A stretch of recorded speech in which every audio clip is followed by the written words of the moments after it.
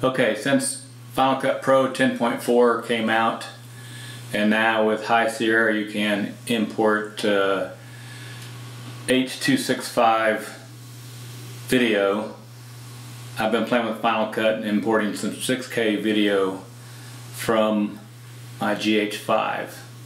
So as you can see here, I've done a comparison of the clips using different photo modes. I really like 6K photo. Uh, it has the least amount of trouble as far as color grading as far as I can tell. I am not a professional colorist, but I'll let you be the judge. Please leave your comments below. Here's an all I 24 frame per second video and it's a one gigabyte file for these 11 seconds versus the 6k photo which was 290 megabytes. So I think they give you roughly the same outcome, but way different file sizes. Here's the same two files side by side. You'd think they'd be identical, but I couldn't make the colors match.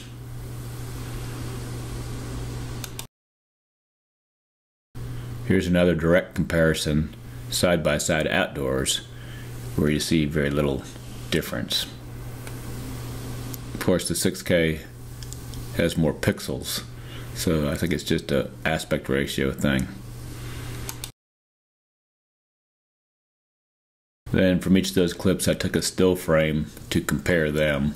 Again, not a lot of difference. If I had to pick one, I'd pick the 6K. Not sure what the shooting differences were. And then here's 200% zoomed in, and as you can see, the 6K has more resolution since it has more pixels. And then I want to see if there's a difference between the in-camera export of a JPEG versus a frame freeze in Final Cut. In this comparison, you'd be hard pressed to even see the seam in the middle of the screen. So what did we learn from this? I really like 6K photo. Uh, it seems to be easier to color grade. Don't ask me why. Um, you get the wider aspect range. I've been shooting 3.2 if you're a wedding photographer, you can take any still out of this and get a good quality print. So you don't need a separate videographer and photographer. Um, the file sizes are smaller than some of the higher bitrate movie modes and I just don't see the big difference in quality. Again, I'm not a pro. Uh, for a prosumer, I would definitely shoot in 6K photo mode.